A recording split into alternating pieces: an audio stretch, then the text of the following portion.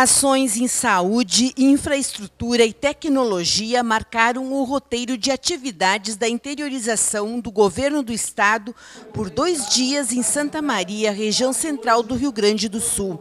No Hospital Regional, o governador Tarso Genro, secretários e diretores historiaram a instituição, onde mais de 70% das obras foram executadas.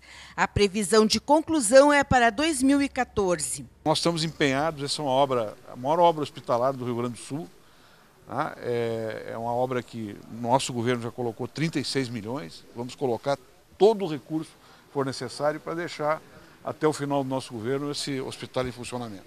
O grupo participou da primeira convenção de gestores da Corsã e, posteriormente, vistoriaram obras do esgotamento sanitário da localidade de Camobi, com investimentos da companhia de aproximadamente 15 milhões de reais, beneficiando 26 mil pessoas.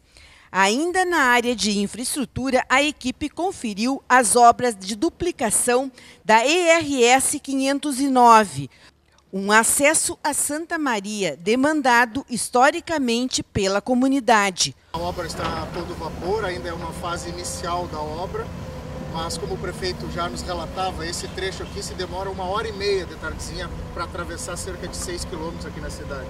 É uma obra reivindicada há muito tempo, o governador Tarso Genro nos determinou que fosse uma prioridade, tratamos como prioridade e hoje ela está desembaraçada em pleno andamento. É uma obra para um ano e meio. Outra atividade importante do dia foi a reunião do governador com familiares das vítimas da tragédia da Boate Kiss que ocorreu em janeiro.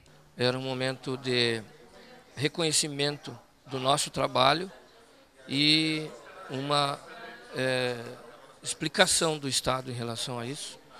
E nós tivemos, e nós queremos que daqui para frente realmente as coisas se modifiquem para melhor.